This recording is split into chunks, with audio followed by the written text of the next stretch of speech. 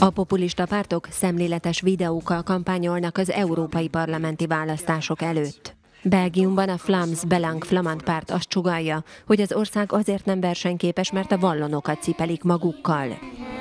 Ide többet nem jöhetsz. A magyarországi Mi Hazánk mozgalom videója a migrációról szól. Európában is megfogjuk. Nicht zweifeln. A német AFD szerint az EU nem akarja, hogy az emberek vezessenek, gondolkozzanak vagy válasszanak. Also jetzt ist aber mal gut. Der Spot hätte denen in Brüssel wohl so gepasst. Hollandiában azzal riogatnak, hogy Franz Timmermans felfalja az uniós nemzetállamokat. Stop de Europese elite. Laat ze Nederland niet opslokken. Görögországban pedig kiskutyaként ábrázolják a miniszterelnököt, aki úgy ugrál, hogy német gazdája trenírozza őt.